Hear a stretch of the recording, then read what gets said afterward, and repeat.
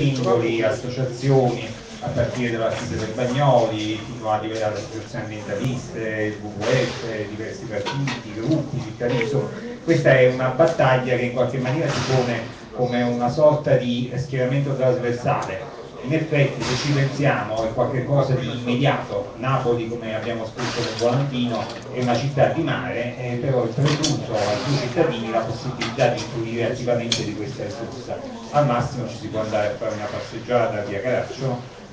e di questi tempi neanche più in qualche maniera perché con la militarizzazione è difficile anche questa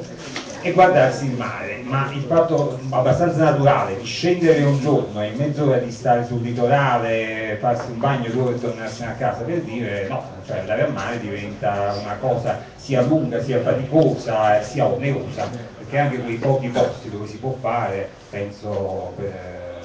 alle Rocce Verdi, all'Irena o a qualche rara zona tra Positivo e Argentina in cui è dato di accedere al mare, si tratta di una costa che è stata privatizzata di fatto, se non di diritto in alcuni casi, quindi ai cittadini resta ben poco. Ovviamente si tratta in primo luogo della mancanza di una risorsa fondamentale per una città che ha i più bassi standard di verde spazi pubblici del nostro paese, una risorsa che contribuisce all'identità del luogo e che con un'adeguata valorizzazione potrebbe aumentare la qualità della vita dei cittadini, se non utilizzata eh,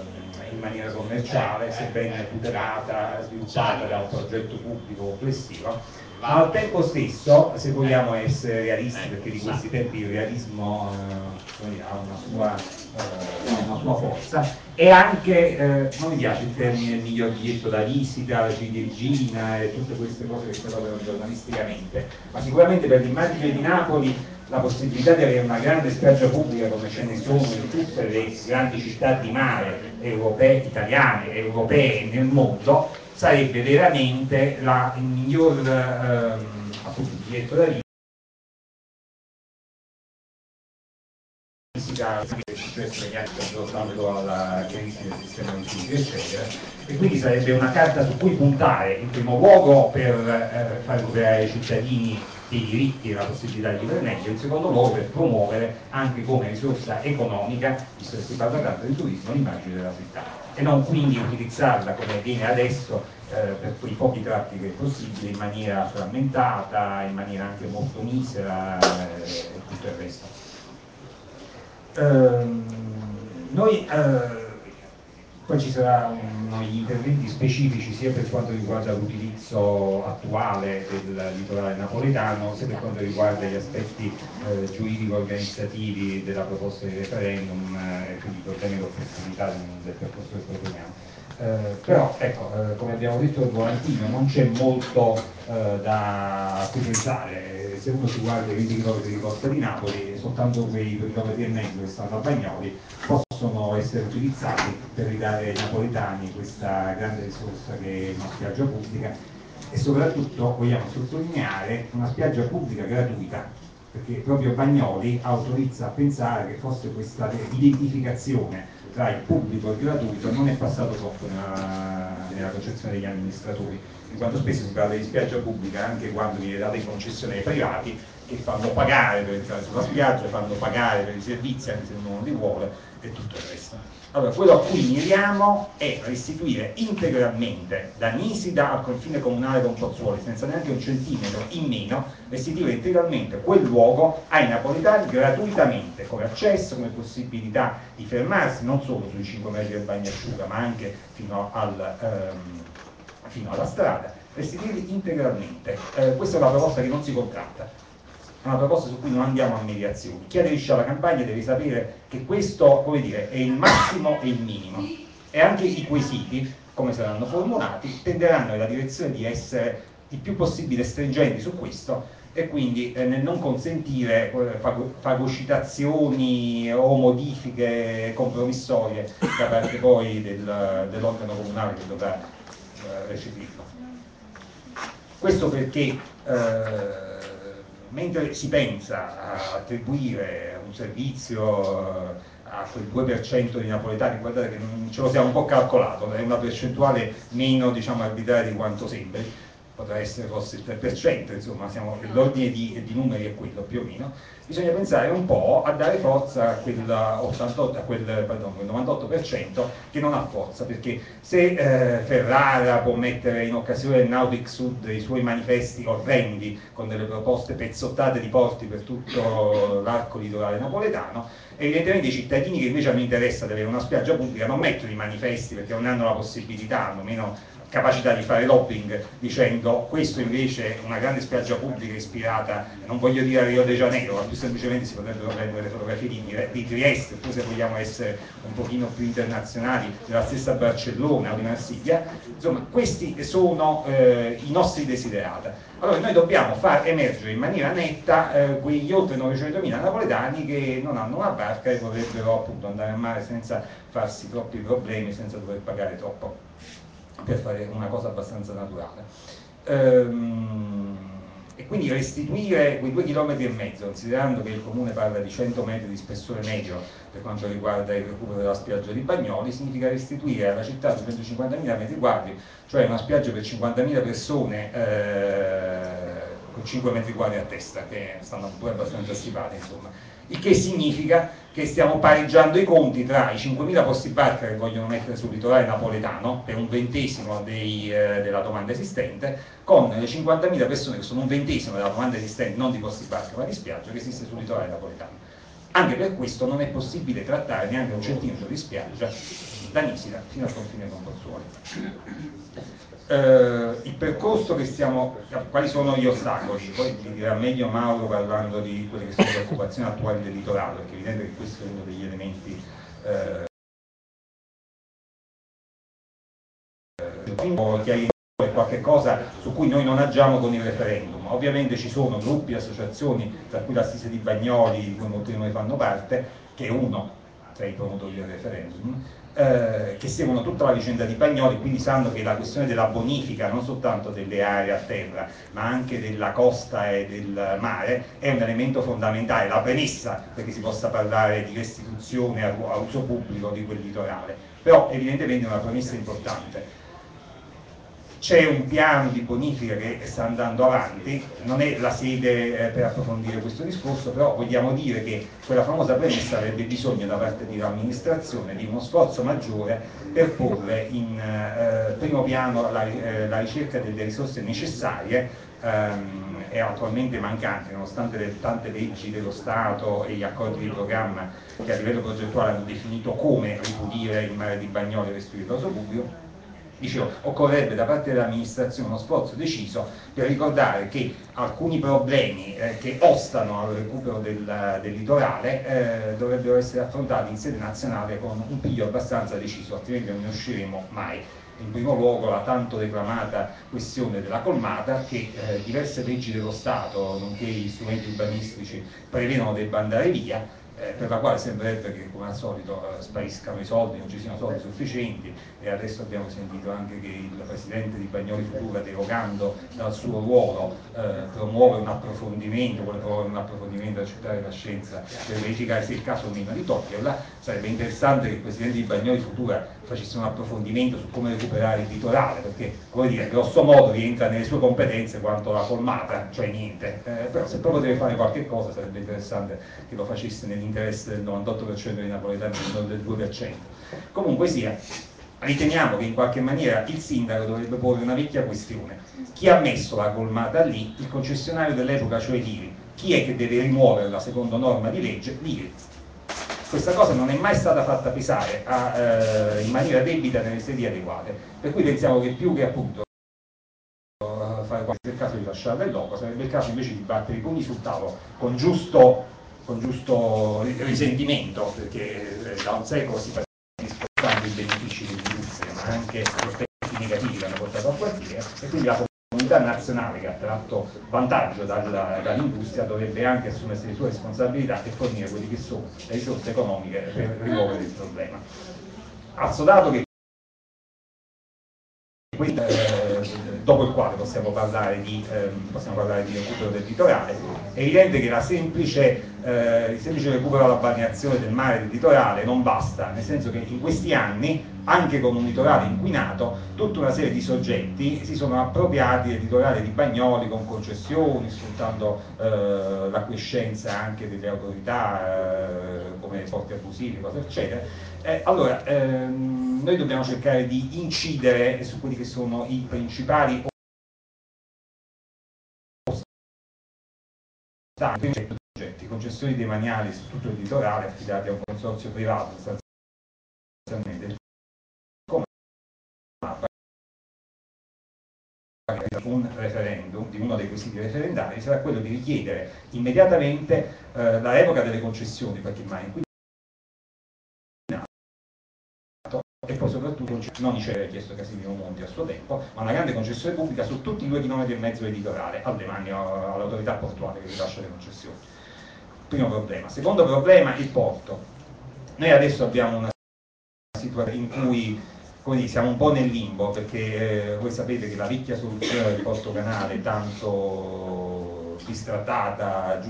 giustamente, tanto criticata eh, perché non rispettava tutta una, sia la logica progettuale insomma, che in qualche maniera tutta una serie di vincoli, eh, è stata bocciata in una serie di conferenze di servizi e sostituita con un'altra soluzione di porto che non era più in porto canale che a sua volta è saltata eh, perché non sono state rispettate le procedure di appalto. Quindi adesso in questo momento, vuol dire,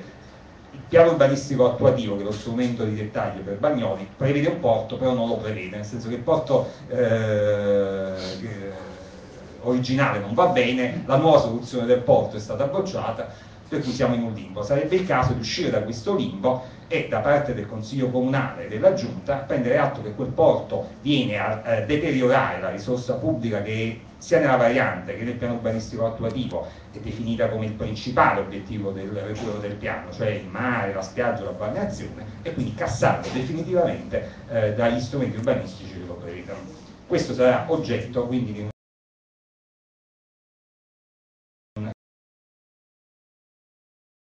semplificaggio. Tenete presente che sia la variante che il piano urbanistico attuativo, poi lo vedere meglio Mauro, prevedono che tutto quanto viene, tutti quanti i volumi che stanno a valle di Via Coroglio, che è il litorale di Coroglio, vengano demoliti e che addirittura insomma,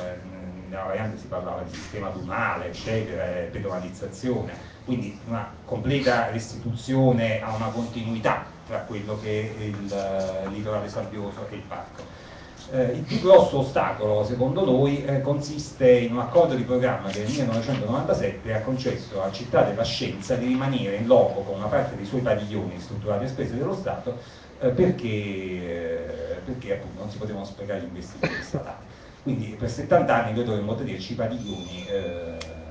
in quel posto con quell'attività che oltre ecco, all'incontro fisico insomma, impedisce eh, di fatto l'utilizzo della spiaggia. Quindi il terzo quesito referendario andrà nella direzione di chiedere eh, una modifica dell'accordo di programma al sindaco, di convocare una conferenza di servizi, modificare quell'accordo di programma e quindi rivedere questa, questa soluzione. Oltre in generale a chiedere di porre in atto tutti i provvedimenti necessari in una formulazione che è anche appesa eh, in uno dei pannelli nella parte posteriore della sala, necessari a ripristinare appunto quei fattori di cui si diceva prima, cioè la balneabilità e l'accessibilità gratuita di tutto il litorale. Il eh, percorso eh, che proponiamo per questi quesiti referendari è un po' articolato perché poi spiegherà meglio Giuseppe Mm? perché eh, il, dire, il, regolamento di questi strumenti è, prevede delle incongruenze, insomma abbiamo cercato di capire un po' meglio, non si è mai fatto un referendum perché sia previsto dal 2006, si è mai fatto un referendum a Napoli, quindi siamo in qualche maniera gli apiprista di questo strumento, quindi dovremmo anche cercare eh, si sta rivedendo proprio il regolamento anche con un'apertura per cui eh, si prevedeva di eh, rendere disponibile al voto anche per il referendum costruttivo anche ai sedicenni e ai cittadini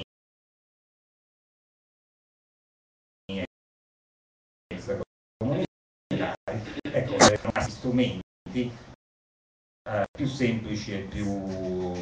fondi che, che riescano veramente a permettere ai cittadini, ai cittadini di esprimersi. E quindi noi abbiamo articolato la campagna in due fasi di cui una prevede eh, un primo ricorso eh, ad una sorta di disegno di legge di iniziativa popolare, nel senso che eh, si raccolgono 10.000 firme per portare in consiglio comunale eh, queste 3-4 proposte che stiamo definendo, eh, dopodiché in un secondo momento, a seconda della risposta del consiglio comunale, ma noi eh, se definiamo bene queste proposte ci rispondiamo probabilmente di no, sappiamo già, si adirà alla richiesta di referendum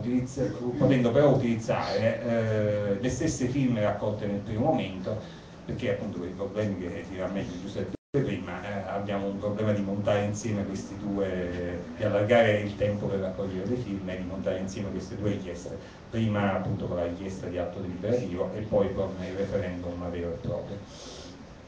e quindi eh, questo è grosso modo eh, gli elementi del dibattito, poi adesso andiamo a approfondire. Eh, quello che chiediamo alle persone presenti, oltre a farsi un'idea rispetto a quello che proponiamo, insomma, è di, di, manifestare la propria eventuale disponibilità, le perplessità e che ritengono eventualmente i punti di forza, le debolezze di questa proposta e poi di incominciare una prima fase organizzativa perché noi dovremo utilizzare le prossime settimane di aprile, abbiamo già un gruppo di lavoro che sta cercando di definire con cogenza, con precisione i quesiti, eh, per darci una struttura, un comitato, organizzarci territorialmente, eh, capire come si può cominciare a sviluppare la fase informativa, i banchetti e tutto il resto. Insomma. Quindi di essere nell'ambito degli interventi che si faranno dopo questi primi di esposizione della questione per come l'abbiamo impostata noi, ecco, di essere anche fattivi nel dare la propria disponibilità perché si tratterà di un grosso lavoro, perché si tratterà nel, diciamo, di raccogliere qualcosa come 30.000 firme eh, rotte all'interno della città di Napoli e no, non è poco, quindi servirà da parte di tutti quanti non soltanto la buona volontà ma anche il fatto di potersi di funzionare come una struttura. Eh, non so, do la parola prima, prima te. Vabbè, io limiterò il mio intervento anche perché molte delle cose che pensavo di dire le ha già anticipate Massimo e soprattutto perché credo che sia eh, importante dare spazio agli interventi poi dei convenuti perché eh, questa è soprattutto una riunione organizzativa. Come ricordava Massimo eh, nella sua introduzione, Napoli è una grande città di mare, eh, la nostra città si affaccia eh, per circa 20 km eh, sul Golfo di Napoli, uno dei golfi che ci hanno insegnato, uno dei golfi più belli del mondo. Eh, senza voler discutere questa opzione, eh, ci troviamo per, purtroppo costretti a prendere atto del fatto che si tratta di un mare negato, Uh, è difficile spiegare a un bambino che nasce in questa città, uh, di, che nasce in una grande città di mare e che purtroppo non c'è una spiaggia dove potersi andare a bagnare. Napoli è una città di mare ma anche una città antica, uh, per cui gli usi della linea di costa sono storicizzati, consolidati, molti dei quali quindi difficili se non impossibili da rimuovere. Se partiamo dal, dall'area orientale, San Giovanni a Teduccio è l'ultimo brandello della città eh, prima che termini il confine comunale con Napoli, perché noi parliamo del confine comunale con Napoli perché questo referendum può essere agito solamente all'interno del confine comunale di Napoli. Eh, a San Giovanni a Teduccio troviamo eh, innanzitutto eh, il la grande, eh, la grande darsena che si sta costruendo, il, grande, il, nuovo porto in costruzione che si va ad aggiungere a quelli già esistenti di Porto Fiorito e poi la eh, centrale termoelettrica. Eh, ricordo a tutti che proprio nei pressi della centrale termoelettrica qualche anno fa nel tentativo di portare il, i propri bambini a fare il bagno, una donna eh, ci ha rimesso la vita per tentare di salvare i bambini dal risucchio delle eh, pompe di raffreddamento della centrale termoelettrica, questa donna è morta. E anche eh, per evitare che succedano altre tragedie del genere, eh, chiamati a questa battaglia. Andando avanti, dicevamo, prima la centrale termoelettrica, che questa che vedete qui, poi inizia la grande darsena portuale, come vedete ci sono gli scogli, qui il grande porto eh, in costruzione Porto Fiorito e poi lo scalo merci, eh, migliaia e migliaia di container vengono movimentati all'interno dello scalo merci e tra l'altro si tratta di un'area, come potete immaginare, fortemente inquinata dall'uso del tempo, quindi è eh, sì un affaccio su, sul mare, ma è anche un luogo dove è impossibile pensare di poter realizzare una spiaggia. Io ho detto un affaccio sul mare, ma questo è abbastanza improprio per chi perché? Per chi eh, con la macchina per esempio arriva a Napoli nella zona orientale dall'autostrada il mare è completamente negato alla vista. Cioè l'unico pezzo dove si inizia a vedere il mare è proprio in corrispondenza di piazza municipio. Quindi abbiamo già saltato tutta la darsena portuale. Molo San Vincenzo. Qui eh, sono anche segnati tutte eh, le tratte delle eh, dello scalo passeggeri, quindi le tratte con Casamicciola, con Capri, con Procida, con Palermo, con Catania, con Ustica, quindi eh, fortemente anche inquinato dal passaggio delle navi. Poi eh, arriviamo invece eh, su quella che è via Caracciolo. Anche prima della villa comunale, questa è una zona eh, fortemente malsana, eh, la realizzazione della villa comunale aveva appunto proprio come scopo quella di dare eh, sfogo ai napoletani con un'area per il loisir, per il tempo libero, eh, per poter fruire di un affaccio a mare, ma anche qui si tratta di un'area abbastanza consolidata, guardate solamente la pressione antropica e tutta l'urbanizzazione che c'è alle spalle, vi può far immaginare quanto eh, sia praticamente impossibile fare qualcosa che sia oltre il passeggio, cioè bagnarsi in questo mare, per di più in, in prossimità di un altro porto, quello grande di Mergellina, ampliato negli ultimi vent'anni, e dello scalo degli aliscafi, e eh, si tratta di un'area che sicuramente può essere eh, migliorata nella sua funzione pedonalizzata, ma non è certo questa la spiaggia alla quale si può pensare. E poi c'è eh, la costa di Posillipo, costa alta innanzitutto, molto frammentata. Eh, quasi tutte private, direi tutte private o privatizzate, per cui diciamo, ma non c'è una spiaggia dove potersi bagnare, cosa resta?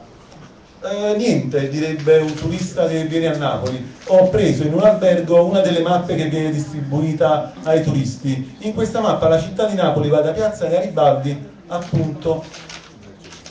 a Mergellina. Finisce via Caracciolo, finisce la città, come se ci fosse una parte eh, proprio negata eh, sia ai cittadini ma anche ai turisti, della quale si continua a non parlare, che invece corrisponde un po' a quella che noi eh, abbiamo pensato in questi mesi nei quali abbiamo iniziato a lavorare, possa essere davvero, noi diciamo, abbiamo scritto lì la prima grande spiaggia pubblica di Napoli, in realtà si tratta anche secondo me dell'ultima spiaggia, cioè l'ultima opzione politica che ha questa città come eh, società per potersi mobilitare e richiedere di realizzare finalmente una grande spiaggia pubblica a Napoli. Si tratta di un arco di costa molto ampio, due chilometri e mezzo, e quindi noi abbiamo scritto da Nisida fino alla pietra dove poi finisce il confine territoriale, eh, gli interventi dopo, sto per finire, eh, dove finisce il confine territoriale di Napoli, eh, è l'unico eh, arco di costa dove è possibile realizzare ancora oggi una spiaggia. In eh, realtà si tratta anche di un'area urbana in trasformazione, cosa che non è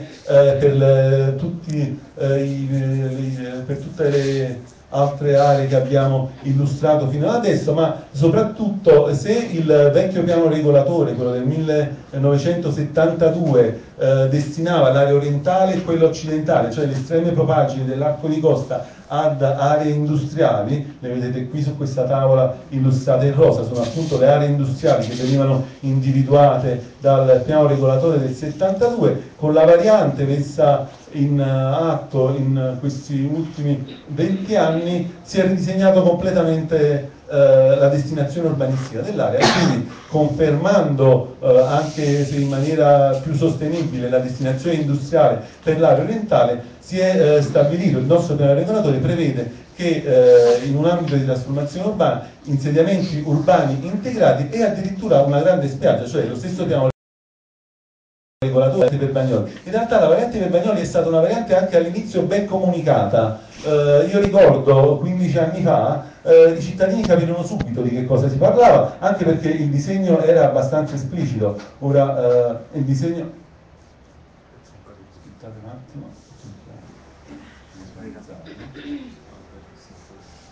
Questo è il piano urbanistico attuativo, cioè una delle prove di varianti, ma anche il piano urbanistico attuativo cosa andava a disegnare? Una grandissima spiaggia, una grandissima spiaggia da Nisida fino appunto al confine territoriale con Pozzuoli, a meno del grande Porto Canale che è stato poi, come sapete, bocciato dalla sovrintendenza perché eh, giustamente, come abbiamo da sempre evidenziato, interrompeva una delle tracce storiche più importanti del nostro insediamento urbano, cioè la strada che collegava Napoli eh, con Pozzuoli. Il Porto Canale così disegnato era un porto che impediva anche la fruizione eh, continua dell'arco di coste avrebbe obbligato, se mai si fosse eh, realizzato, avrebbe obbligato a chi arrivava da Nisida, arrivato qui, di farsi una lunga circonnavigazione per poi tornare a rivedere il mare con tutto quello che avrebbe comportato l'insediamento portuale. Ma ora di porto non si parla più. Lo stesso Presidente della Commissione urbanistica ci ha confermato che il porto è praticamente cancellato oramai da questo piano urbanistico attuativo e quindi pare che eh, davvero eh,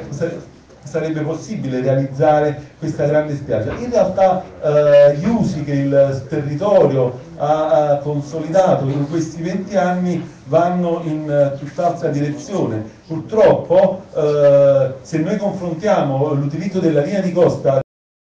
adesso ci accorgiamo che al di là di quelle che sono le trasformazioni pianificate abbiamo assistito ad un consolidamento di attività tra l'altro non previste dal piano regolatore né eh, dalla variante urbanistica del Bagnoli. Partiamo da Nisida, un grande porto semi-abusivo, il porto di Manomozza occupa non solo il pontile che collega eh, la terraferma con Nisida ma anche tutto l'entroterra. Questa è una foto di qualche anno fa, a fronte di una concessione annuale di circa credo 600 posti barche, sono stati contati ogni estate qui eh,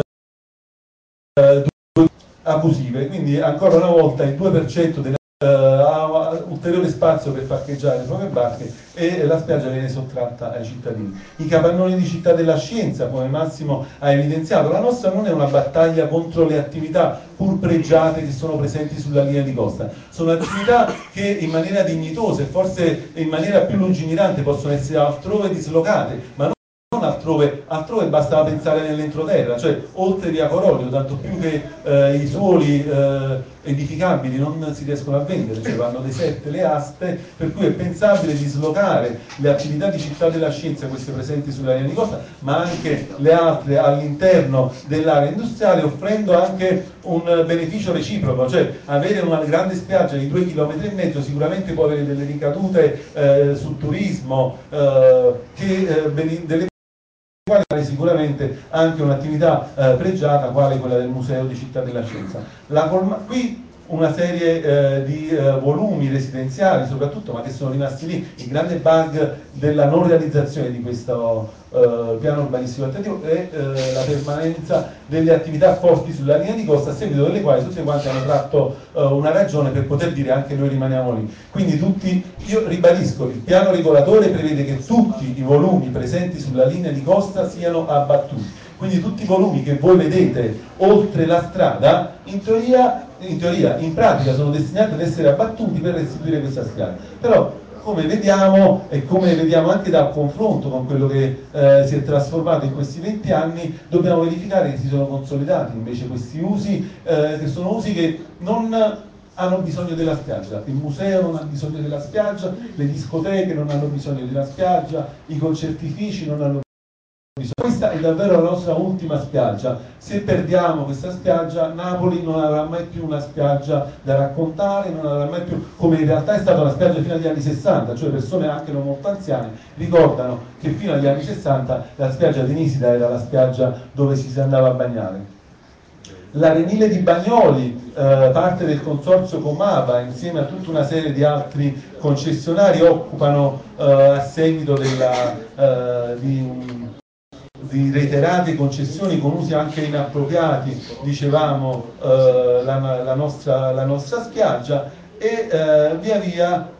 oltre Piazza Bagnoli sono presenti qui, non so se avete presenti, come grandi edifici che si hanno di fronte via Diocleziano, che sono delle scuole, anche per quelle è previsto l'abbattimento, cioè il piano regolatore in realtà disegna uno scenario idilliaco per cui questo referendum alla fine non chiede null'altro che eh, di far presto e nemmeno tanto già 20 anni per realizzare finalmente quella di cui la nostra città ha bisogno, fino alla pietra dove è possibile realizzare con le risorse necessarie ma in tempi limitata relativamente breve, cioè noi abbiamo calcolato che con le risorse giuste in 4-5 anni è possibile realizzare per Napoli una spiaggia di 2 km e mezzo. Credo che è una battaglia alla quale eh, tutta Napoli debba potersi votare, alla quale senza indugio tutti i cittadini di Napoli che sentono in qualche modo legato al territorio non possono eh, sottrarsi. È davvero un bisogno e eh, stiamo disegnando, se ci riusciamo, eh, un profilo per la nostra città che resterà negli anni e nei secoli a venire come è successo per esempio con la Riviera di Chiaia e con la Villa Comunale. Quindi invito tutti a fare il massimo degli sforzi anche di propaganda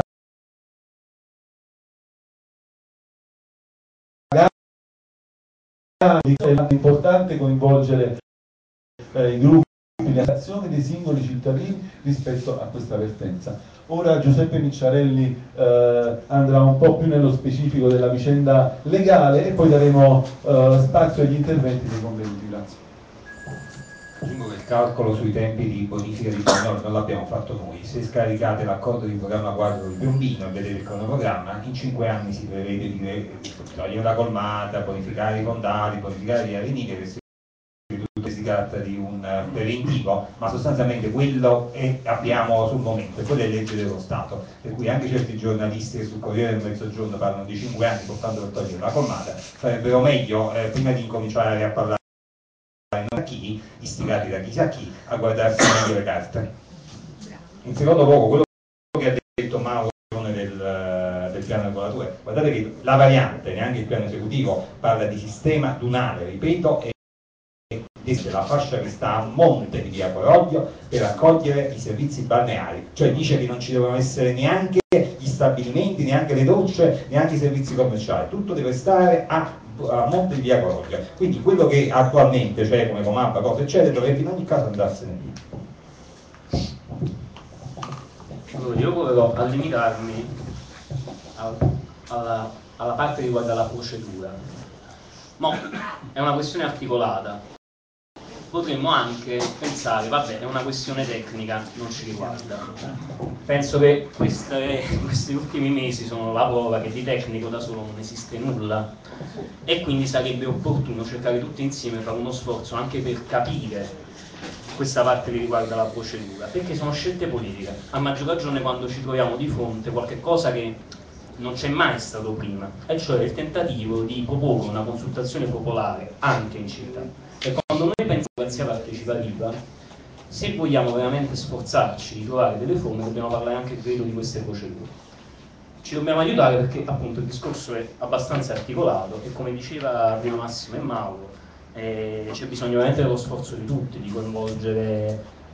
ognuno di voi anche sotto questi profili, quelli più che riguardano la descrizione del contenuto dei quesiti, quello che riguardano la procedura referendiaria o di altri tipi di consultazioni, perché è, è, assolutamente fondamentale. Allora, partiamo da questo. Gli strumenti esistenti per la partecipazione e la consultazione dei cittadini allo stato attuale, previsti da statuto e regolamento. Vi premetto che per ammissione stessa di uno dei vice segretario comunale Mossetti effettivamente ci sono alcune discrasie tra statuto e regolamento e comunque il regolamento diciamo, è, è, è, fatto abbastanza coi piedi, si può dire così, molto, molto esplicitamente e poco tecnicamente. Allora, cosa, quali sono gli strumenti previsti? Istanze e petizioni, da una, da una parte. Poi le una differenza che per esempio in altri regolamenti come quello di Torino non esiste. Invece nel nostro c'è. Quindi immaginiamo che in questo caso le proposte rappresentano uno schema deliberativo perfetto che in qualche modo il Consiglio Comunale potrebbe adottare. Invece le istanze e le petizioni dovrebbero rappresentare, così interpretando, una semplice richiesta. Primo passaggio. Per le istanze e le petizioni, mi sembra a memoria siano 500 firme, per le proposte ben 10.000. Poi c'è il referendum. Quanti tipi di referendum conosciamo? Noi ne conosciamo tanti perché ovviamente diciamo, è stata una delle recenti conquiste l'ultima tornata referendaria, no? E su cui non, non c'è bisogno di dire niente, però qua è un referendum un po' diverso. Allora, innanzitutto, può, ci può essere un referendum comunale che riguarda le, le sole municipalità. Prima cosa. Seconda cosa, c'è, c'è la possibilità di avere un referendum abrogativo in teoria, cioè un referendum all'esito del quale scatta immediatamente l'affetto abrogativo, come succede per quelli nazionali. Il Presidente della Repubblica dichiara l'abrogazione, perché dopo l'esito del referendum, se sono passati i due quorum, la legge è abrogata. Non è così in questo caso perché noi non abbiamo un referendum abrogativo. C'è,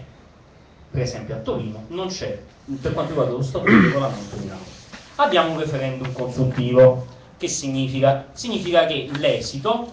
non è un esito, ne,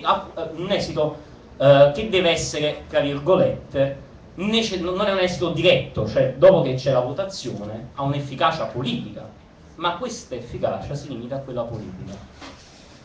Il referendum consultivo può avere un contenuto modificativo, può anche essere, si può anche modificare, si può anche revocare una parte, però la cosa importante da ricordare è questa. E poi da ultimo c'è un'altra cosa che si chiama consultazione popolare e c'è la richiesta da parte, l'istanza non viene dai cittadini ma in questo caso viene dal, dal Consiglio Comunale che chiede una consultazione su un atto deliberativo suo. Questo è lo schema che io vi ho dovuto dire esattamente come è previsto, essenzialmente con le forzature previste dal regolamento e dallo statuto. Ma noi come cosa vogliamo fare e per quale motivo? Noi vogliamo ipotizzare di cominciare con una proposta, con la raccolta di 10.000 firme per quale motivo? Perché l'articolo 10,5 prevede che in caso di rigetto o di non adozione della delibera c'è la possibilità da parte del comitato promotore di richiedere su quello stesso quesito un referendum consultivo. Cioè, noi volevamo cominciare subito a raccogliere le firme. Lo scopo è questo, cominciare subito a raccogliere le firme in modo da presentare subito al Consiglio Comunale una proposta e aspettare successivamente referendum. Chi decide? Questo è diverso rispetto al, al, al referendum nazionale. Per la proposta noi cominciamo subito a raccogliere le firme su un quesito. Invece sul referendum c'è bisogno, prima delle raccolte di firme, di un responso del Comitato dei Garanti,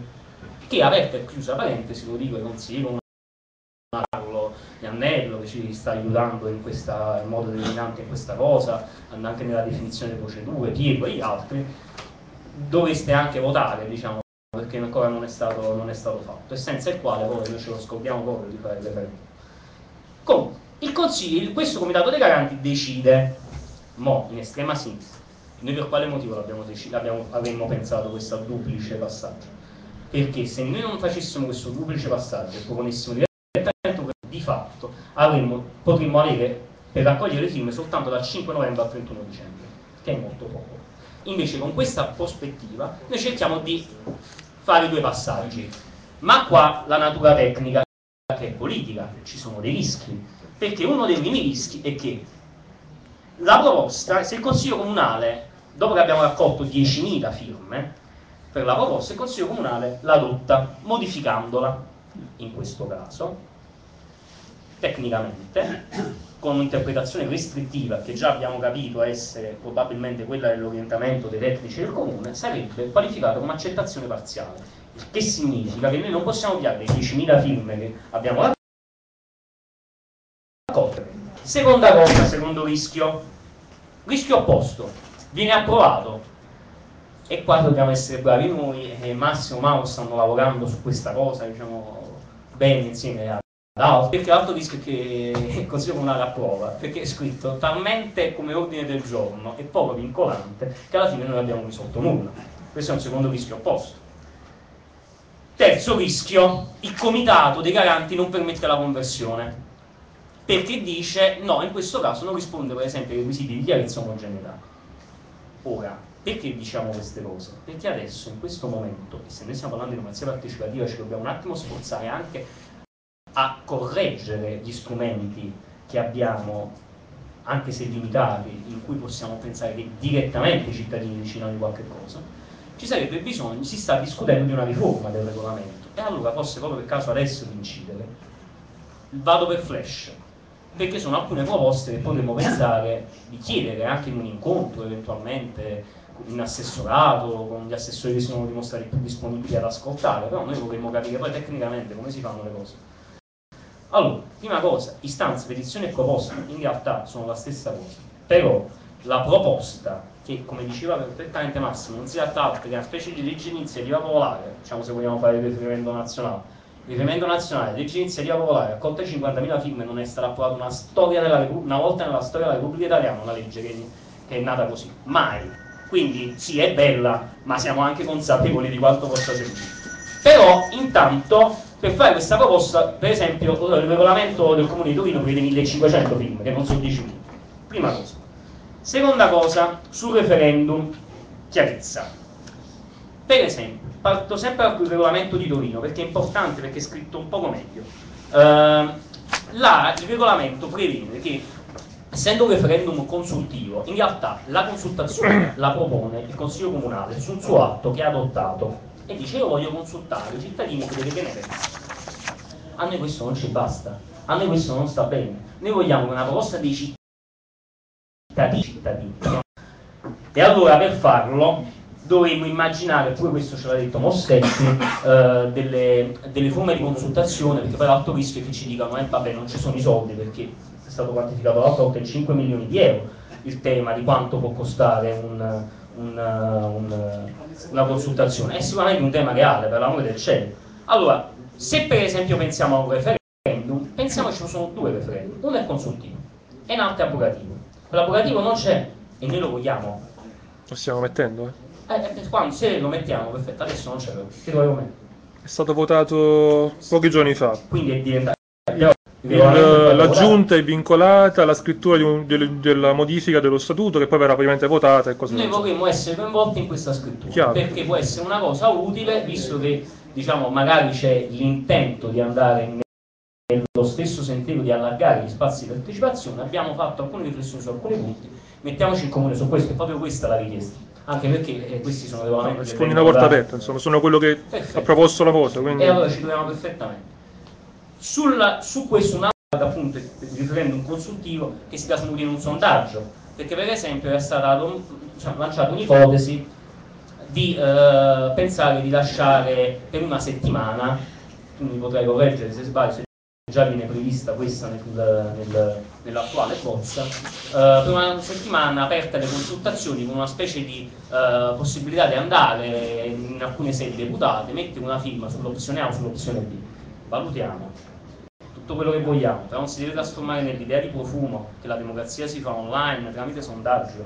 e che in questo modo diciamo, i cittadini partecipano. Quindi pure su questo diciamo, bisogna cercare in qualche modo di contemperare le esigenze della spesa pubblica, per l'amore del cielo, perché poi siamo sempre noi a pagarlo, e le esigenze della partecipazione. Chiudo un altro paio di esempi su questo, su cui bisogna stare attenti. Uh, il tema dei comitati dei garanti, nominato subito, l'abbiamo detto. L'obbligo di una convocazione pubblica del comitato promotore su quando viene discusso il referendum, quando viene discussa l'ammissibilità del referendum la possibilità di chiedere al Comitato dei Garanti di esprimersi subito, non aspettando la scadenza del 30 settembre. Il tema invece il referendum consultivo, su questo che se è consultivo il quorum non ci vuole secondo noi, però poi su questo ne parliamo, perché se è consultivo non è abrogativo, quindi diciamo c'è un effetto diverso. E poi da ultimo potrebbe essere una cosa interessante riscrivere l'idea della consultazione popolare che c'è adesso, secondo il regolamento, perché potremmo anche chiedere al comune che su alcune cose, su alcune scelte determinanti, il comune si auto-obblighi, perché questa idea che sia necessario passare per la scelta dei cittadini su alcune proposte è giusta, noi non vogliamo che sia solo questa, perché lo ripeto, vogliamo anche noi proporre alcune cose, perché magari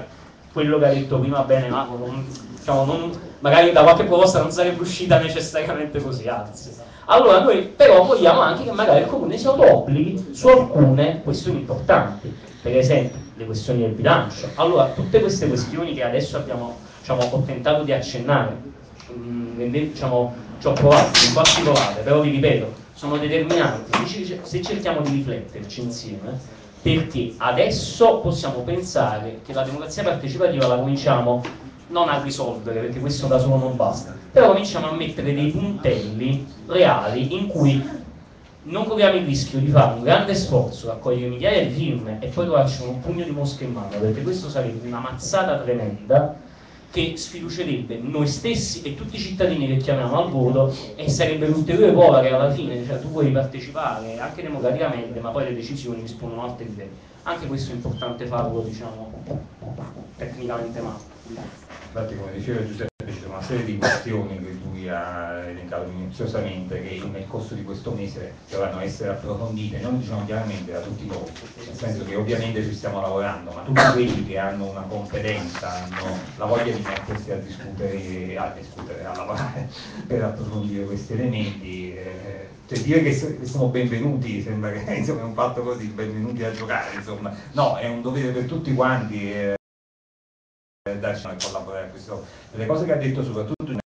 ehm, ha un'urgenza che c'è eh, durante la fase di revisione del regolamento eh, rispetto a cui noi facciamo un appello ai consiglieri in aula. Uno, bisogna assolutamente fissare il quorum, perché il quorum all'interno sia dello statuto che del regolamento è accennato ma non si sa quant'è. Di conseguenza noi anzi, finché non viene fissato questo quorum andremo alla cieca non sapremo se il 50%, se lo 0%, secondo noi non ci deve essere quorum. Perché una volta, che ci hanno, una volta che ci hanno richiesto 35.000 firme per eh, il quorum, basta, il referendum consultivo non è neanche un referendum abrogativo. E quindi eh, una, una sollecitazione in questo senso ai consiglieri. Una seconda riguarda la nomina del comitato dei garanti, che deve esprimersi sull'ammissibilità del quesito. Se il comitato, che non è stato mai nominato, non viene nominato, noi non possiamo dare seguito al referendum quindi bisogna immediatamente darsi da fare per nominare questo comitato. Terza cosa, le forme di pubblicità. Se il comune non mette a disposizione tutta una serie di risorse perché si possa discutere, comunicare con i cittadini, dagli spot radiotelevisivi sui mezzi pubblici, per esempio quello regionale, a comunicazione via internet ci vediamo noi, non è questo il punto, ma per esempio i pannelli pubblicitari e altro via dicendo, gli spazi soprattutto, perché qua anche per avere uno spazio per discutere uno deve scalare le, le torri di città, eh, il referendum si potrà pure fare nominalmente, ma poi non ha una capacità, quello che dicevamo nel Bonandino, di promuovere la discussione, l'informazione tra i cittadini. Quindi su queste tre cose i consiglieri, adesso che si vota sul referendum, dovrebbero essere attenti. Quorum, nomina del comitato dei garanti, garantire forme di pubblicità adeguate. Poi dal punto di vista pratico io eh, condenso in alcune date il percorso eh, abbiamo detto che noi faremo questo primo passo che è eh, scrivere questi quattro quesiti, eh, portarli eh, alla firma eh, dei cittadini, quindi raccogliere queste 10.000 firme e andare in consiglio comunale dicendo esprimiti su questi quattro quesiti. Se il consiglio comunale eh, non si esprimerà entro 90 giorni, la campagna di firme prevediamo iniziarla a maggio e finirla a giugno grosso modo, noi potremo, se il Consiglio ha, non si è espresso oppure ha rigettato questa proposta, potremmo proseguire il percorso dicendo, chiedendo che venga indetto un referendum. Quindi dobbiamo fare domanda a questo benedetto Consiglio dei Garanti perché possa validare che i quesiti sono sottoponibili al referendum che non viene validato, dopodiché dopo una serie di passaggi possiamo cominciare a raccogliere ulteriori firme per il referendum se per esempio vale, per esempio che sono 20.000 firme secondo quanto dice il regolamento, 10.000 le abbiamo già raccolte con, eh, la, nella prima fase, con la proposta portata in Consiglio Comunale, dovremo raccoglierne altre 10.000 eh, nel periodo che diceva Luce, tra il 5 novembre e gli ultimi di dicembre. Questi tempi sono, come dire, stiamo bene, però bisogna che ogni passaggio abbia poi il proprio referente, per cui il comitato di Manandi deve essere nominato, noi dobbiamo essere ben attrezzati e passare da una fase all'altra, i quesiti devono essere scritti in maniera tale che possiamo fare questi passaggi e quindi ottenere quella dilatazione dei tempi di comunicazione alla campagna eh, che ci permettono di giungere a maggio ad avere l'indizione del referendum e poi ad andare a votare finalmente poi c'è il problema, insomma, maggio 2013. Quindi è un lavoro che inizia a maggio 2012 e finisce a maggio 2013, è una campagna articolata di un anno che ci deve vedere impegnati a diversi livelli. Questo grosso modo è il lavoro che abbiamo davanti. Io a questo punto chiederei alle persone intervenute di... No, no, puoi venire qui a parlare direttamente. Allora, a parte che io sono d'accordissimo con l'impostazione di questa 9 Filomena, cara. So che ma è meglio che parli con il microfono no. Eh, sono d'accordissimo con questa diciamo, eh, iniziativa eh, perché c'è bisogno di una spiaggia come di molti altri luoghi pubblici a Napoli, non solo di una spiaggia. Però eh, diciamo che ehm, mi pongo un problema che rientra nella sfera del realismo. Con quali risorse? A parte il referendum e tutta l'azione sul campo di questa cosa che si può basare su un'azione di volontariato, anche di studio, di approfondimento di una serie di questioni, ma poi cioè voglio dire, eh, fa, sicuramente fare una richiesta out-out ad un ente, eh, questa cosa qui. Il problema è che dal punto di vista proprio del realismo è chiedersi in un momento di scarsità di risorse pubbliche eh, come è possibile che questa cosa si realizzi. Mo lascia stare che noi pensiamo, vabbè, è un problema che poi si vedrà o un problema del comune trovare le risorse per fare questa cosa, però in quanto persone che approfondiscono un argomento potrebbe essere, questo non lo dico come fatto provocatorio, lo dico come uh, uno stimolo a focalizzare l'attenzione oltre che sulle questioni procedurali, uh, anche uh, su delle questioni che possono riguardare il recupero di risorse per realizzare un programma del genere, ma anche della gestione di una spiaggia pubblica. Perché quella, eh, chiedere una spiaggia pubblica implica innanzitutto grossi risorse perché si realizzi questa cosa e questa cosa può essere diciamo, approfondita in sede di un gruppo di studio, di un'assemblea più allargata, cioè insomma un gruppo di persone che è eh, magari deputato anche in maniera volontaristica, in maniera volontaristica a fare questa cosa, cioè di capire come il Comune di Napoli può reperire risorse attraverso anche l'utilizzo del patrimonio inutilizzato che ha, insomma, attraverso spostamenti. È inutile che vi faccio l'elenco di tutte le cose che ho in mente io come molte altre persone, idee che possono diciamo, andare in questa direzione, ma eh, anche poi nella gestione di, una, di, una, di, un luogo pubblico come una spiaggia, perché sarebbe interessante che questa cosa desse vita anche dal punto di vista giuridico e procedurale alla formazione di nuovi soggetti giuridici che sono capaci in maniera, diciamo, uno spazio pubblico aperto al pubblico eh, in un determinato modo e questa è una cosa che ovviamente non riguarda solamente la spiaggia, riguarda lo zoo, riguarda le dell'Ani, riguarda tutta una serie di luoghi che si aspira a rendere pubblici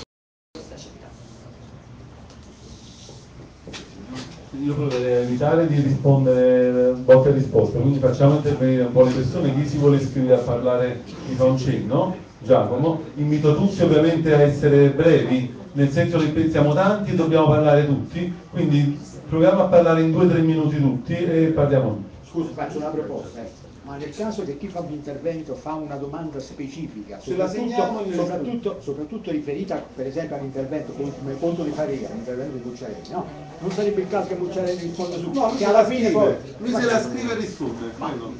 Mi chiamo Antonio Filizio, sono stato contattato tramite email. E veramente pensavo a qualcosa di altro. In effetti vedo che è una cosa già preparata, la prima grande spiaggia pubblica di Napoli, è una bella cosa, però io pensavo che era usufruire il mare, i napoletani che possono usufruire del mare, quindi non mi aspettavo solo di Bagnolo, ma pensavo di tutto il litorale. E mi spiego meglio, da Santa Lucia a Mergellina il mare si può usufruire. Eh, da Mergellina a Posillipo, eh. prima c'erano dei poderi sono state costruite ville e parchi e sono state chiuse le, le stradine interpoderali abusivamente.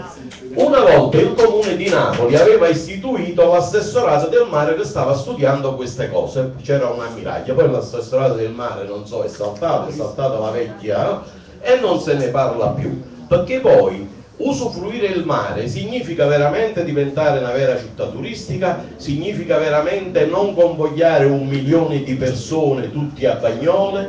insomma mi va bene tutto, però io pensavo che era una cosa più ampia da, da costituire, da come mi è stato scritto tramite email, mentre vedo che voi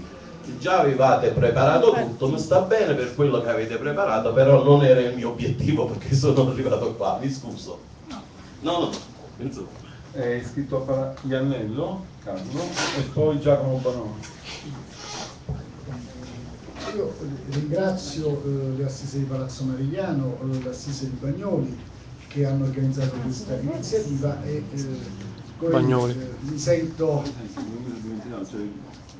Car- Carlo Iannello, in questo momento svolgo la funzione di Presidente della Commissione Urbanistica. Vengo dall'esperienza dell'Assise di Palazzo Merigliano che eh,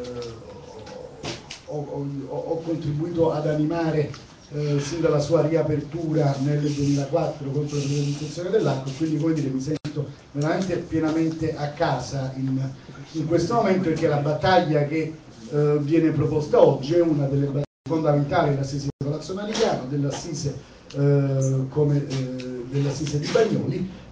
il recupero della spiaggia pubblica a, a, a, Posilli, eh, scusate, a eh, Coroglio da Nisida fino al confine di Pozzuoli ed è anche un obiettivo del piano regolatore generale. Chiaramente il piano regolatore generale rispetto a questo obiettivo due criticità aveva due criticità. Uno era un accordo di programma, ed è ancora un accordo di programma derogatorio al piano stesso, fa, eh, co, stipulato due anni dopo la conclusione, anzi un anno dopo l'approvazione la, uh, del piano, che permette uh, a Città della Scienza di continuare ad avere i capannoni su quella che dovrebbe essere la spiaggia, ci sono delle immagini che hanno fatto vedere, e un altro era la localizzazione del porto che quindi interrompeva la spiaggia e che fu una grande ferita nell'ambientalismo italiano la previsione eh, di questo porto perché c'era una buona parte dell'ambientalismo italiano nel 96, napoletano scusate, che nel 96 riteneva che questo porto non si dovesse prevedere a Bagnoli perché Bagnoli non aveva una vocazione portuale ma aveva una vocazione balneare. E come si sa o c'è portualità o c'è balneabilità. Tant'è vero che poi il piano regolatore eh, generale per eh, eh, risolvere la contraddizione mi scollocò il porto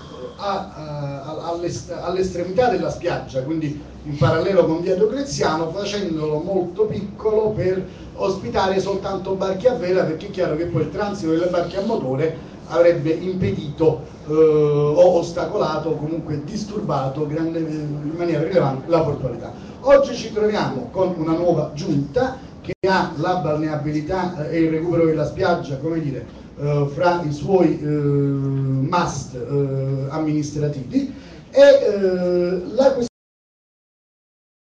questione di essere Porto Canale non c'è più perché è stata cancellata una conferenza dei servizi che eh, prevedere un porto era il porto canale che si allungava, cioè che usciva dal canale ed arrivava eh, vicino al pontile, quindi lasciando poi quel, il del, risolvendo il problema della mobilità a cui si faceva riferimento. Il fatto è che quella conferenza dei servizi è stata poi annullata dal giudice amministrativo perché era stato fatto un papocchio in quella conferenza dei servizi. Quindi il, eh, dal punto di vista dire, normativo la conferenza dei servizi ha cancellato il porto canale, il Consiglio di Stato ha cancellato il porto previsto dalla conferenza dei servizi, conclusione il porto non c'è, almeno allo Stato, allo stato attuale, Massimo di Dato come dire, sorride perché è, è, un suo auspicio, come un, è un auspicio di tantissime persone che sono qui dentro. E, eh, concludo dicendo questo. Io personalmente eh, mi sono eh, impegnato già moltissimo su Bagnoli, ho fatto molte attività eh, proprio per capire la situazione di Bagnoli, una situazione disastrosa eh, dal punto di vista dire, economico-gestionale della società. Faceva bene la eh, persona intervenuta prima a dire poi ci sono anche questioni economiche, come si devono recuperare i soldi. Eh, da questo punto di vista, per la rimozione della colma, da questo punto di vista potrei comunque parzialmente tranquillizzare perché c'è una provvista economica per la rimozione della colmata che è parzialmente già disponibile e dovrebbe essere sufficiente per la rimozione di un terzo della colmata. L'altra parte della provvista economica, essendo Bagnoli un sito interesse nazionale, è un eh, dovere del Ministero dell'Ambiente, quindi il Ministero dell'Ambiente che nel piano di bonifica deve nazionali deve stanziare dei soldi eh, per completare la bonifica di Bagnoli. Noi come città di Napoli dovremmo eh, fare pressione sul Ministero. L'accordo di, di programma è un accordo in cui l'onere economico lo mette il Ministero eh, nell'accordo di programma c'è appunto il Ministero che ha già stanziato una prima tranche di eh, soldi eh, e eh, deve stanziare una seconda tranche di soldi. È chiaro che poi la decisione di effettuare uno stanziamento è anche una decisione politica perché ci sono la capacità di fare è far capire quali sono dire, i vantaggi sociali, il capitale sociale che è una spiaggia in una città dove eh, i cittadini non hanno la possibilità praticamente di andare al mare perché le poche spiagge che ci stanno, i pochi punti eh, che ci sono sono privatizzati, quali sarebbero quindi grandi, il, grande vantaggio sociale che deriverebbe da questa scelta e quindi avere eh, la provvista finanziaria per, eh, per, rimuovere la colmata. Concludo dicendo che oltre a, me in questa eh, sala ci sono Carmine Attanasio che è un presidente della Commissione Ambiente, Gennaro Esposito che è presidente della Commissione Sport e siamo assolutamente dire, eh, disponibili a eh, occuparci delle questioni giuridiche che avete sollevato prima e a dare dire, la disponibilità per eh, la realizzazione dell'obiettivo e per la realizzazione anche diciamo, di questo iter procedurale che è un iter di democrazia molto importante. Grazie. Io invito ancora tutti a essere brevi e eh, andare subito all'otto. Eh, Giacomo Bonomo voleva intervenire. Posso seguire? Come prego, questa la mia serie. Però non è che ti siedi e quindi parli molto a lungo, no? No, no, no, no. ad ogni modo voi sapete, voi sapete, siete, sì, però... voi sapete che io non sono il tipo che mi parla corso, quindi lo saprà, eh, se ne accorgeranno pure i presenti. Allora, dopo aver ascoltato Giuseppe, io non mi aspettavo che Giuseppe facesse una relazione così critica. Più vicino alla bocca, per piacere. Non mi aspettavo, sentite? Va bene adesso? Non mi aspettavo che Giuseppe facesse una relazione così critica nei confronti della procedura per andare a referendum e soprattutto che appunto i presenti eh, avessero la sensazione che è una strada francamente da abbandonare quella dei referendum. No, no. Soprattutto, tenendo, soprattutto tenendo presente quella che è la realtà di oggi dei referendum. Allora, anni fa, quando la Regione Campania ha rivisto eh, la sua regolamentazione per i referendum, ha deciso che i referendum abrogativi possono essere soltanto rispetto a delle leggi. Io ho fatto presente, è uscito pure sulla stampa, che questo era incostituzionale perché il nostro eh, la Costituzione prevede che i referendum possano essere abrogativi non solo per leggi ma anche per provvedimenti amministrativi, non se ne è fatto niente. Quindi allora, dando per scontato che la cosiddetta casta non ha alcun interesse a concedere ai cittadini il diritto di partecipare ai processi decisionali, così come previsto dalla Convenzione di Orus, ma non so quanti di voi se la sono, ma hanno trovato mai il tempo di leggersi la Convenzione di Orus, è del 1998 che è stata ratificata dal Parlamento italiano con legge 108 del 2001. Allora, io vorrei leggere soltanto poche righe che sono contenute in un libro interessante. È un libro il cui titolo, copertina verde, il titolo è Impatto ambientale, valutazione strategica, che è stato stampato e diffuso nel 2008 da Sole 24 Ore. Allora io non so quanti di voi leggono solo 24 ore ogni giorno, pigliate la buona abitudine di leggerlo, perché? A dimostrazione di che cosa significa sapere prima degli altri e più degli altri, gli industriali hanno questo loro organo di informazione e contiene certe volte il testo delle leggi prima che vengano pubblicate sulla Gazzetta Ufficiale. Ed allora, a pagina 236 di questo libro c'è scritto il decreto legislativo 4 del 2008 successivamente inserisce nel processo tecnico amministrativo della VIA della VAS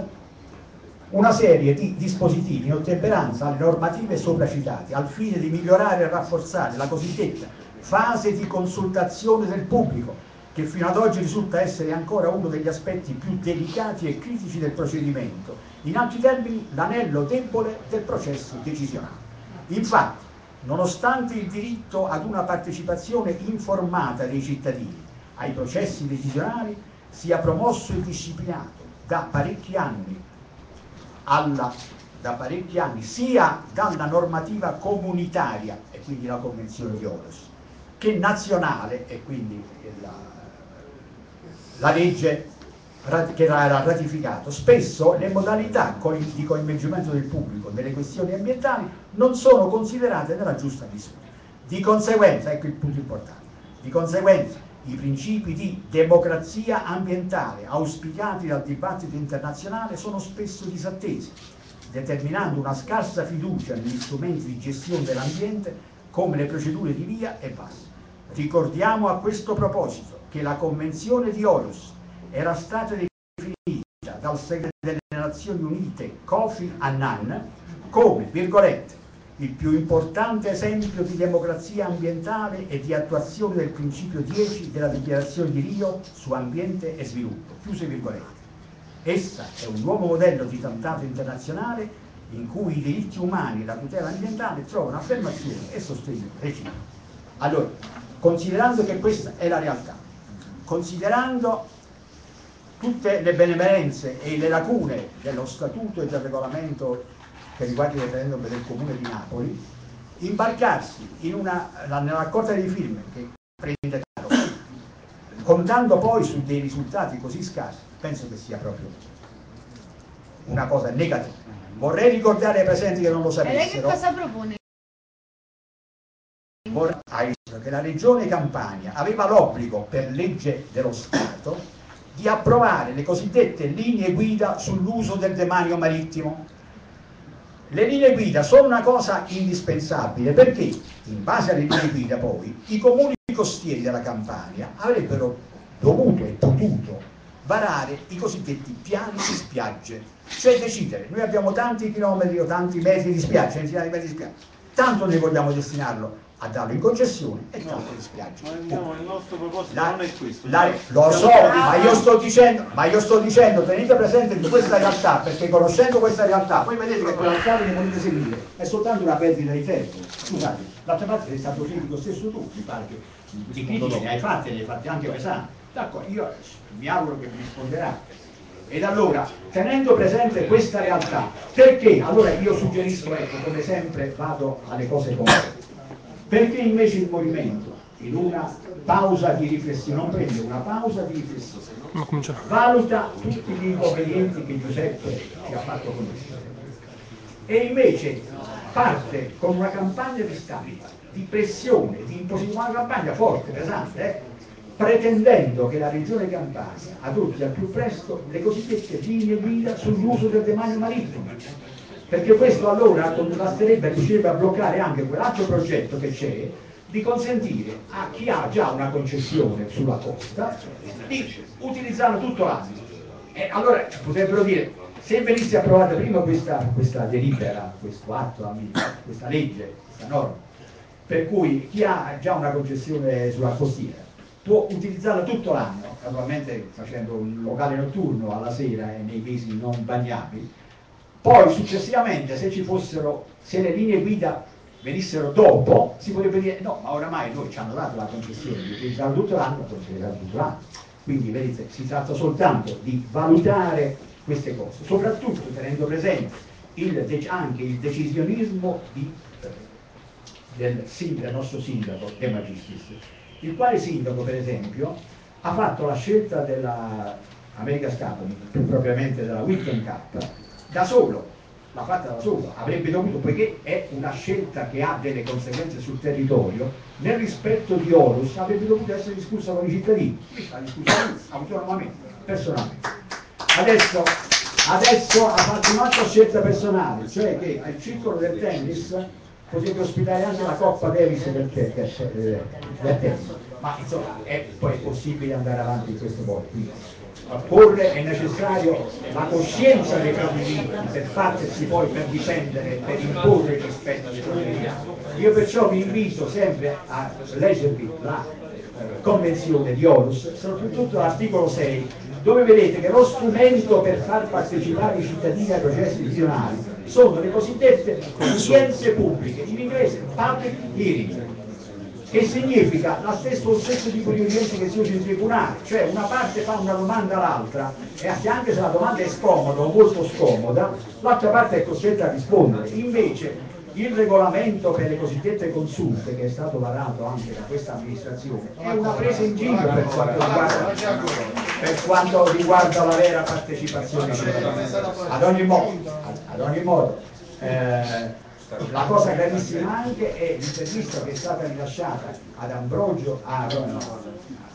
Omero Ambrogi, ex magistrato, io ricordo quando in riunioni del comitato giuridico lo incontravo lì, non vedevo da parecchio tempo e mi è dispiaciuto molto, dispiaciuto che lui abbia accettato la presidenza della Bagnoli Futura, prima. Secondo le cose che ha detto in, questo, in questa intervista rilasciata al Corriere Mezzogiorno sono gravissime,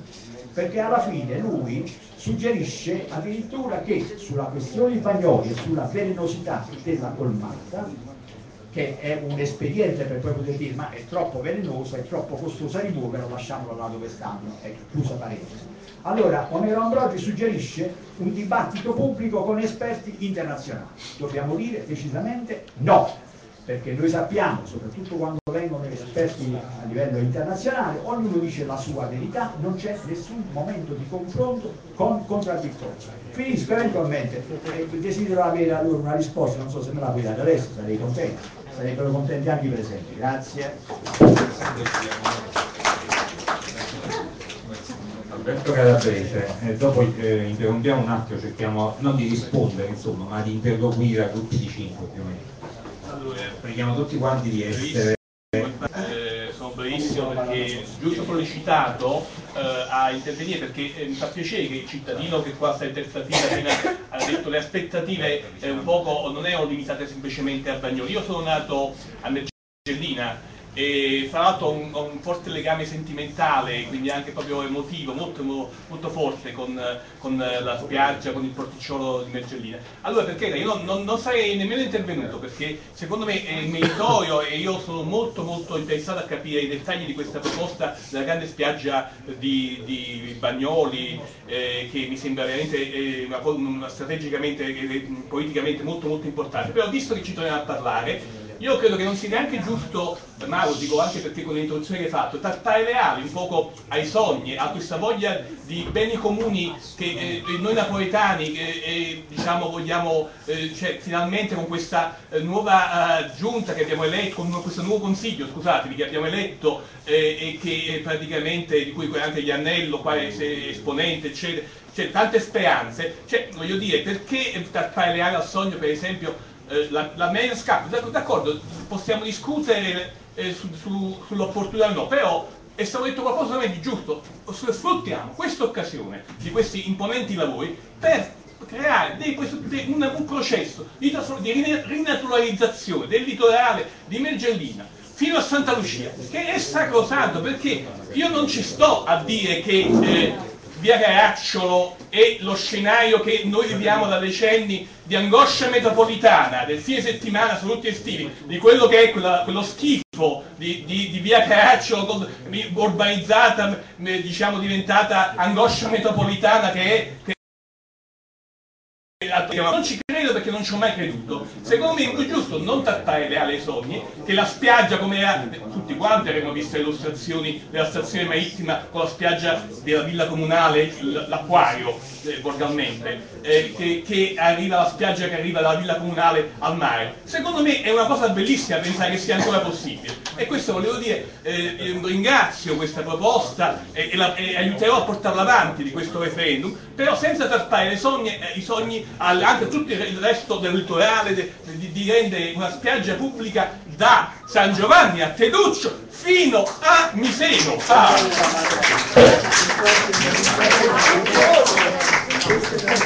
Ma ovviamente nessuno vuole realista, diciamo così, soltanto per sé o per gli altri, a seconda di come. È evidente che per noi va benissimo, possiamo mettere tutto quanto a spiaggia pubblica dal confine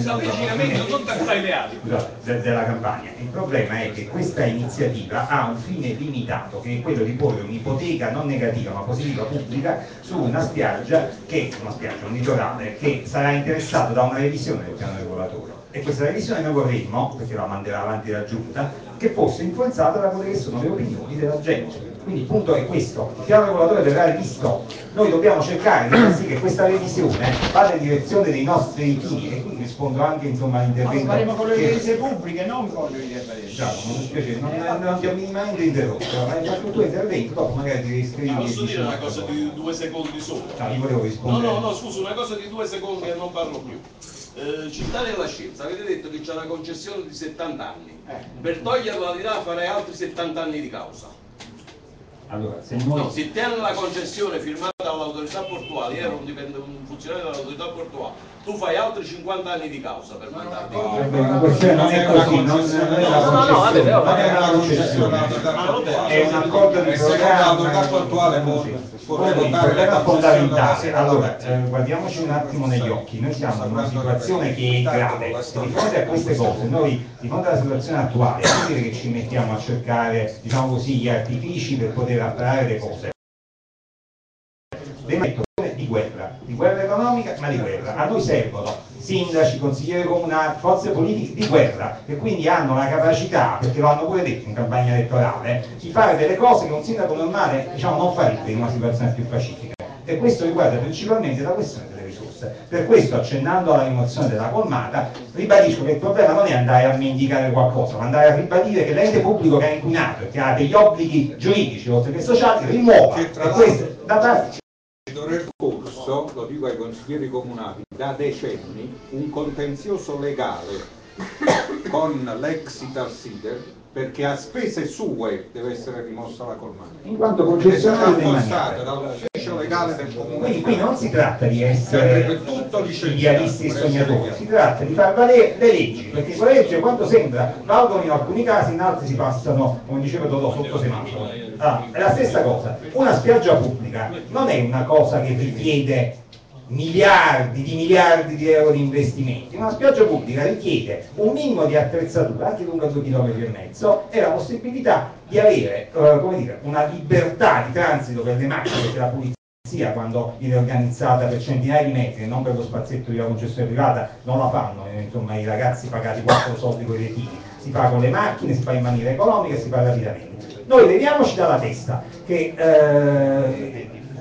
dobbiamo continuare a fare discorsi. Eh ma il comune di Napoli quando mai la può gestire una spiaggia pubblica? perché a questo punto chiudiamo tutto quanto perché gestire questo edificio è molto più complicato che gestire una spiaggia pubblica quindi leviamoci anche queste mitologie negative che ci hanno messo addosso. Noi vogliamo un'amministrazione pubblica che funzioni e che faccia non cose impossibili, ma quello che fanno in altri comuni italiani. Non bisogna neanche andarsi a vedere il comune europeo che fa più fighetto. Benissimo, allora dobbiamo pretendere che avvenga questo, perché altrimenti su tutti gli aspetti negativi della nostra città mettiamoci una croce, chi, chi se ne vuole andare, chi vuole andare dall'altra parte, eccetera. Questo è quello che dobbiamo pretendere come minimo, per questo noi diciamo che non bisogna andare ad un referendum che dice da qua a qua però poi siamo pronti anche a contrattare un 25% eccetera. No, tutto quanto perché il minimo, è la mobilitazione, per questo noi non andiamo a proposte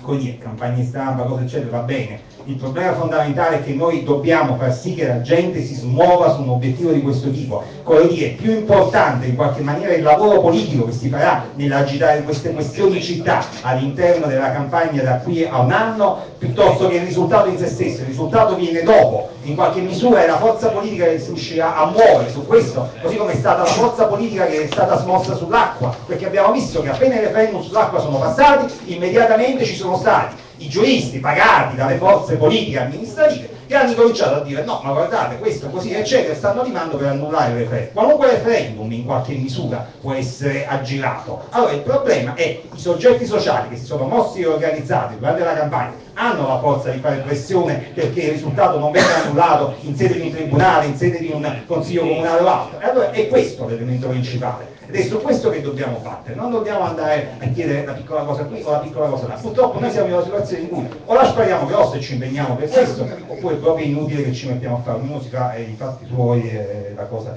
va a finire così. Scusa Massimo, tu hai detto esatto, tu hai detto che... hai- eh, no, ma, ma, scusa, ma allora, allora la differenza di questo incontro di oggi rispetto agli altri seduti alla partecipazione democratica del comune dove sta? Tu hai detto che il De Magistris in campagna elettorale disse che avrebbe fatto delle scelte personali. Non è vero, io che ho seguito tutti gli incontri di De Magistris con il pubblico, De Magistris invece nella campagna elettorale si dichiarò a favore della partecipazione democratica ed il penultimo giorno prima delle elezioni disse sono anche a favore del bilancio partecipativo, promesse che poi non ha mantenuto. Sono questioni dei magistri, noi stiamo parlando di una questione Non vi aspettate Stiamo parlando di una questione specifica. Per cui do la parola un attimo a Giuseppe per quanto riguarda gli interrogativi e tu stesso avevi posto sulla questione procedurale. Sì, sì, brevissimo, ma io sono contento di averti sorpreso. e evidentemente ci sono, sono riuscito, diciamo, magari diciamo, un po' a cercare di mettere dei punti, ma il problema non è che qua si è contro l'istituto del referendum o gli istituti che ci sono. Il problema è un altro. Noi pensiamo che la democrazia partecipativa già ce l'abbiamo e il problema è solo farla. Cioè noi pensiamo che per esempio la convenzione di Aarhus sia già perfetta in sé.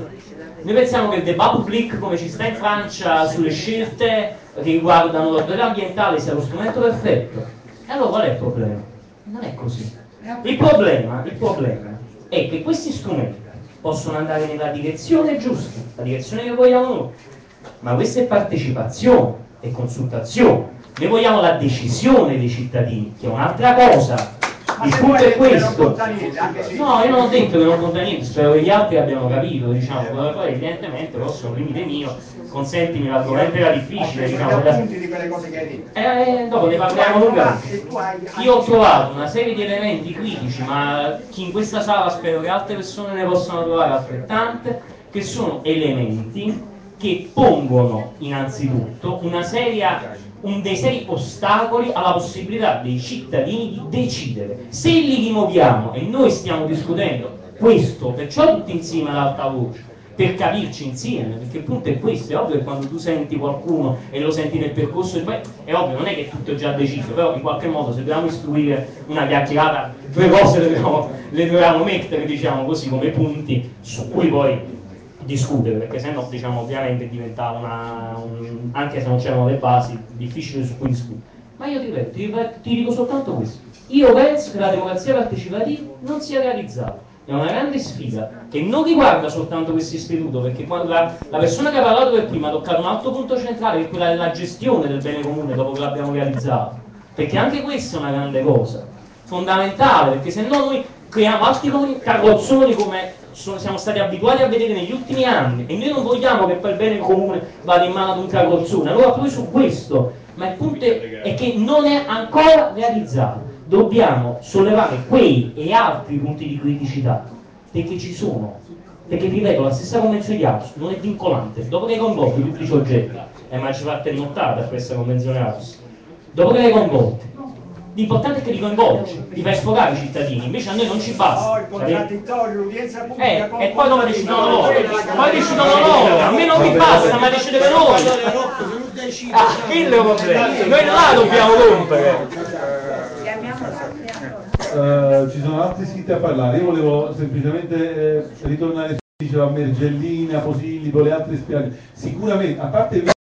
non a caso noi abbiamo scritto la prima grande spiaggia pubblica di Napoli. E poi tenete presente una cosa, l'area di Bagnoli Coroglio è un'area di trasformazione urbana, è lì che si può operare la trasformazione urbana in funzione positiva rispetto al bene pubblico e all'utilizzo del litorale. Questo sarà un volano affinché Napoli possa avere altre spiagge, però se noi oggi stessimo qui a parlare solamente della spiaggia che a caso ora ci ritroviamo, della quale ci troviamo a dover parlare, non noi diciamo, però l'American Cup a Mergellina, è un'occasione casuale, nel senso se non ci fosse stata si starebbe ora a parlare della spiaggia Bagnoli, però se oggi stessimo qui a parlare della spiaggia Mergellina dimenticheremmo di parlare di un'area importantissima in trasformazione e quale, rispetto alla quale si va a ridisegnare il profilo complessivo di questa città. Quindi sicuramente ben vengano altre spiagge, ma noi qui stiamo a proporre un referendum, appunto una mobilitazione eh, popolare, appunto una decisione collettiva dei cittadini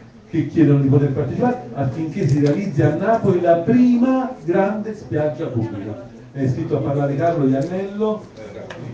Antonio D'Apunto, scusatemi, Antonio D'Apunto De Vassi e poi Antonio l'altro Antonio e poi diciamo Ornella Capezzuto. Ornella Capezzuto.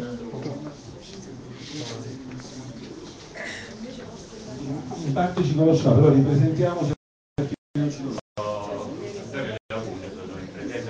Più vicino. Più vicino. Di tenere il microfono vicino alla bocca. Sì, ma io voglio oh, oh, partire da questo. Cioè in un momento in cui lo Stato italiano, molti, ancora più di Berlusconi, sta portando tutto sulla privatizzazione. Cioè, oggi si l'altro nel privato, addirittura diciamo, con operazioni di una scorsizia immane come quelle del pareggio del bilancio, insomma delle operazioni veramente che nessun governo. La battaglia pubblica di Bagnola assume una valenza eccezionale. Noi dobbiamo partire da questo dato fondamentale, cioè di lanciare la funzione del pubblico che è oggi messa sotto accusa in maniera violenta. Questo vale per tutti i campi, cioè non c'è un campo in cui il pubblico non ha un valore. E questa battaglia, perciò sono venute entusiasticamente, sopra diciamo, del contenuto del, del recupero della spiaggia, ha una valenza generale che parla, che può parlare all'intero paese di come la volontà popolare dei cittadini sia diciamo tasto per, dire, per recuperare una, un, un, grande ruolo di quello che è un, appunto un bene comune, un bene pubblico, quindi è centrale sotto questo aspetto e diventa emblematico. Io credo che naturalmente su Bagnoli va fatto un discorso più complessivo, da tempo lo sto dicendo, Bagnoli è un'occasione unica per la città, che però fino ad oggi non ha avuto assolutamente il, diciamo, dire, il cammino che doveva avere. Io credo che Bagnoli possa diventare diciamo, l'area che è stata dismessa, il grande giardino del Mediterraneo, l'ho sempre detto, l'ho scritto più volte, cioè così come quando si liberò l'area della villa, diciamo, in Borbone, fece con tutti i limiti scusa tanto declinando il Borbone, però una mente diciamo, illuminata, diciamo, i più illustri insomma, personalità di quel tempo, i Bambitelli, diciamo, il più grande giardiniere del tempo, e così la villa diciamo, del comunale. Oggi noi a Bagnola abbiamo ancora, proprio per la incapacità di chi è stato fino ad oggi a governare la città, abbiamo ancora io sono molto d'accordo con quello che mi diceva un minuto fa il Carmine Atanasio nell'orecchio, cioè se, come si vuole recuperare il Bagnolo quando si vogliono fare dei grattacieli in quella zona? Allora è evidente che noi dobbiamo riaprire una battaglia centrale, una battaglia centrale per costruire il più grande parco diciamo, del Mediterraneo, cioè Bagnoli che si con il suo respiro insomma che guarda avanti e quindi io sono d'accordo per aprire certo partendo da quelle che diceva, diceva Massimo diciamo, diceva loro del ripristino della linea di costa la, come dire, la cancellazione ovviamente del porto dei diritti ma anche con un anche dal, dal basso un disegno di una grande area diciamo io lo chiamo il giardino del Mediterraneo che recupera la gran parte insomma, dell'area che è stata dismessa lasciando alla speculazione edilizia solo una parte, la gran parte dei giardini che si vuole fare la fa sotto la montagna dove non, diciamo, dove non si può costruire. Quindi io credo che questa battaglia va intrecciata. Io credo che alla battaglia diciamo, Bella Spiaggia noi veniamo da un'esperienza molto bella e molto positiva, la legge di iniziativa popolare diciamo, sulla cultura e diffusione dell'energia solare in Campania, partito un po' in sordina, è una, una legge che sta accogliendo, insomma, sta recuperando diciamo, come dire, tante e tante personalità, tante e tante forze sociali di tutte le nature. Perché questo? Perché gli abbiamo dato diciamo, un carattere come dire, di valore culturale, diciamo, di farla sentire proprio, di far sentire questa battaglia è una battaglia che va, diciamo, come dire, una battaglia centrale che serve a dare un, un indirizzo nuovo. Io credo quindi che al di là diciamo, de, di ogni contenuto tecnico pur importante, io credo che bisogna fare in modo da creare un grande entusiasmo su questa battaglia, un entusiasmo che trascina, un entusiasmo che, tra, diciamo, che coinvolge appieno, non si tratta solo di raccogliere la firma e di far firmare, ma di far capire il valore insomma, della battaglia che si fa, questo è centrale, perché altrimenti 10.000 firme sono molte, noi ne abbiamo raccolto 20.000 di firme, insomma, questa è una battaglia unica in 50 comuni della regione, lentamente poi si è cresciuto l'entusiasmo e oggi se dovessimo raccogliere firme sulla legge probabilmente avrebbe un valore molto grande. Io punterei molto diciamo, anche a coinvolgere, la, sì, io sono stato critico e sono tante critiche su tante questioni, sono tanti errori che sono stati fatti, però io punterei molto sull'amministrazione comunale come un possibile battaglia. Dobbiamo vedere immediatamente come controparte. E quindi io mi molte queste film puntando sulla presenza di tante persone che sono state, tante sono state fino a ieri e ancora oggi, Carlo Iannelli è stato come dire il protagonista di tante battaglie ambientaliste, di tante battaglie di società civile, quindi sicuramente oggi è il protagonista, anche se sta diciamo, nelle istituzioni, non è un avversario voglio dire.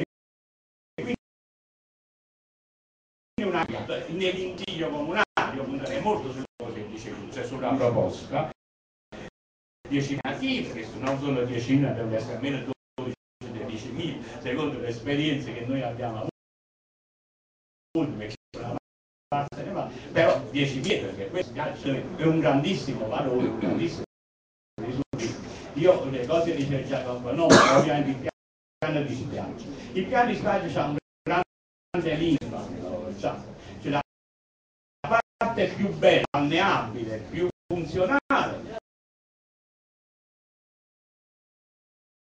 e la sta diciamo la, la da una spiaggia pubblica per cui rimane diciamo i ghetti rimane questi piccoli spazi questi piccoli ghetti quindi anche qui si tratta di aprire una grande battaglia diciamo perché tutte le spiagge ma dove sta scritto con bene comune come la spiaggia come il mare deve essere privato. È una cosa che io non posso non ho mai sopportato. Io sono ognuno è abituato alla libertà cioè di camminare di stare sul mare e credo quindi che questa battaglia sia una battaglia fondamentale di grande valore non solo locale ma di grande valore nazionale. E su questo punto noi dobbiamo avere la capacità di coinvolgere veramente l'intera città di Napoli oltre che Paglione. sia le linee guida della sia sia i piani di viaggio dei comuni